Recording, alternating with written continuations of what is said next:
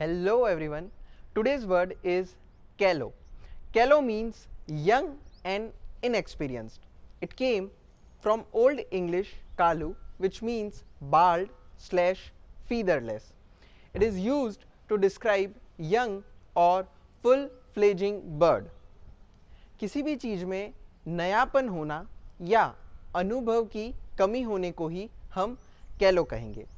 Like a callow employ a callow student, let us take an example for it.